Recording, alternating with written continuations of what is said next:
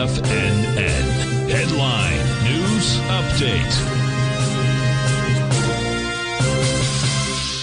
Good morning, folks. Steve Rhodes coming to you live from the shores of a very sunny and pleasant Delray Beach, Florida. This is 11 a.m. update. We've got a sea of green out there. All the U.S. indices that we track are trading to the upside. All the sectors, with the exception of the real estate sector, which is flat, and the utility sector down 22 pennies, are also trading to the upside. Dow's up uh, 407 points. S&P 67. Nasdaq 100 355, nearly two percent. Over two percent for the Russell. 47 points there, over 3% for the trannies. I'm sorry, for the semis.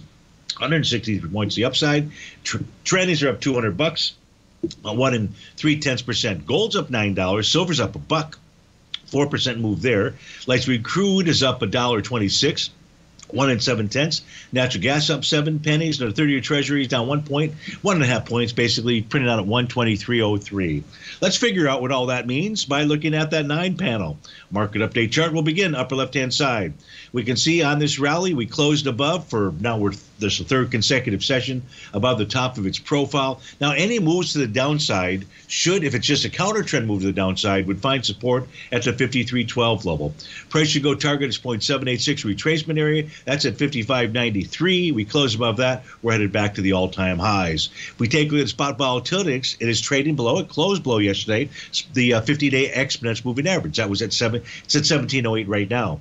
Closed below yesterday. We're trading below yesterday's low. That's a signal, Stevie, and to you that price may be targeting its lower Bollinger Band. If you're wondering how can the S&P 500 rally to new all-time highs, well, if the spot VIX starts heading down to the uh, 1056 level, that will be the trigger. If we take a look at the NQ out here, the NQ is dealing with resistance. Top of its daily profile, 19480. We're at 19494 right now.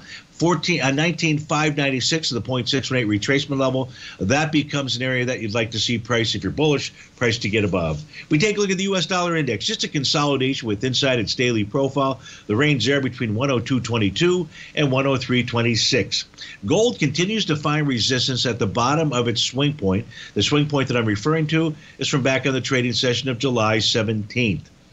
It is finding support at its oscillator and change line. That is not shown here, but perhaps during the Trader's Edge show, we'll take a look at that.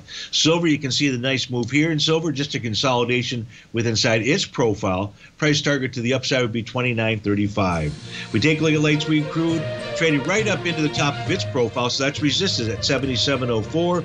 We're trading at 77.05. We close above that. You can see the descending trend line resistance. Natural gas taking on its swing point from the trading session of July 22nd. It'd be a positive to close above $2.30. And uh, folks, stay tuned for the Trader's Edge show. And if you're out to start your Thursday, have a terrific one. Thanks for joining us. We look forward to speaking with you again soon. In the world of trading,